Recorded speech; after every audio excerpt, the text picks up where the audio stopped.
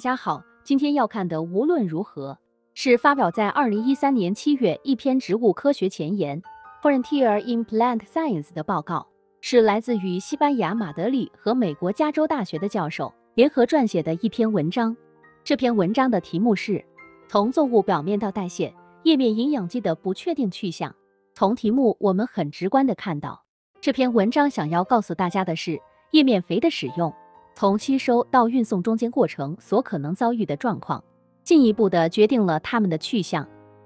使用不同的营养剂，或者说不同的农药进行叶面喷施时，受到非常多因素的影响，肥效也直接受到影响。最主要是使用物质的分子量、溶解度、导电度、带电荷情况、pH 值、表面张力等等，会影响到在叶片上面停留跟作用的时间。在过去也有很多说法来探讨这方面的过程，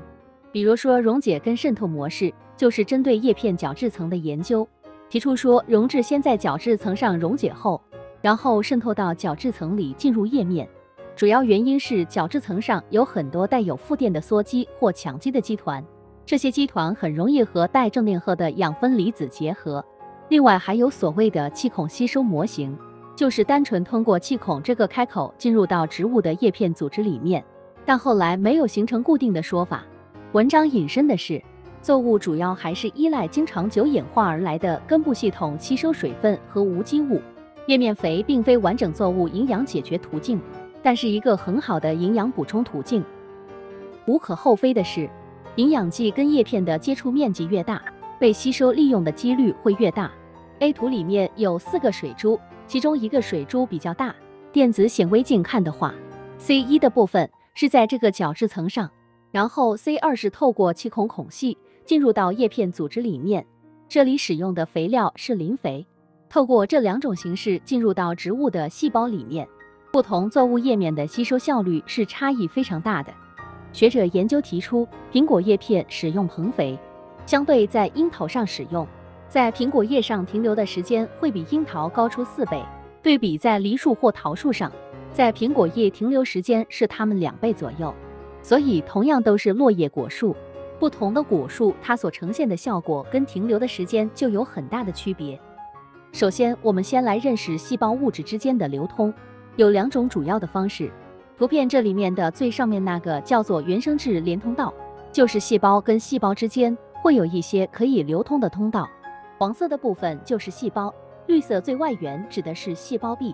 通常物质的流通有两种形式，一个叫质外体的通道，一个叫做共质体通道。质外体通道发生在细胞质以外的区域，是在细胞壁跟细胞质之间的空间流动的。相反的，是要进入细胞里面的，才会使用这个共质体通道。大多数的无机盐都是依靠质外体通道，并没有进入细胞质里。而是在细胞壁跟细胞质之间的空间进行传输跟转移。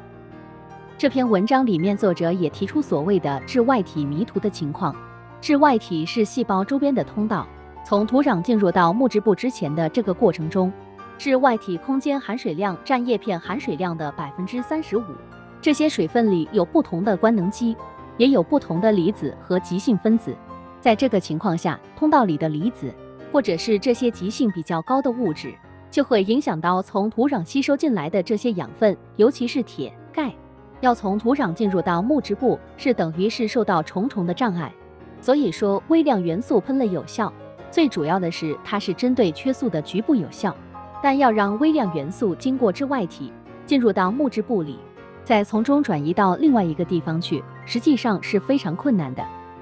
共质体的部分。很小部分的养分会走共质体通道，共质体也有不确定的这些路径。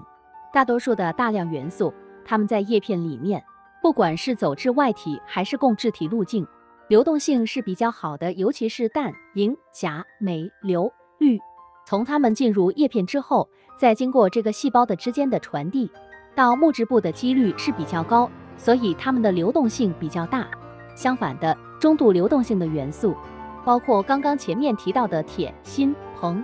在局部的作用效果非常不错，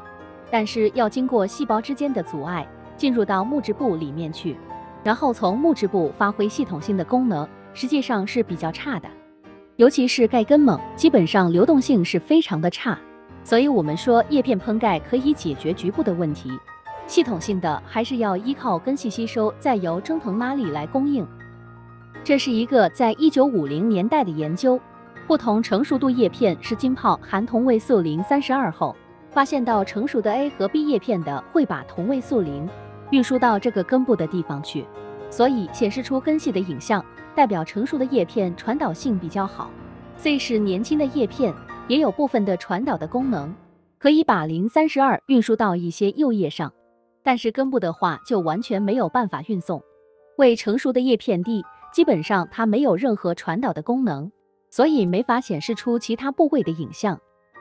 最后我们总结，在叶片如果是使用尿素溶液的话，它通透性是比较好的，整个系统性的传导也会非常的好。相反的一些微量元素，尤其是硼肥来说，作者特别举例，它的利用效率其实跟尿素是差不多的，但是它的限制就是移动性非常的差，也就是前面所说到的。只能在局部发生作用，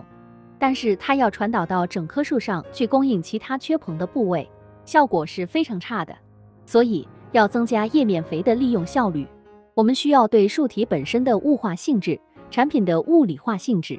生物性质都要彻底的了解。更重要的是，作物所处的大环境情况都会影响叶面肥的吸收率、转移率以及利用率。今天的分享就到这，我们下次见。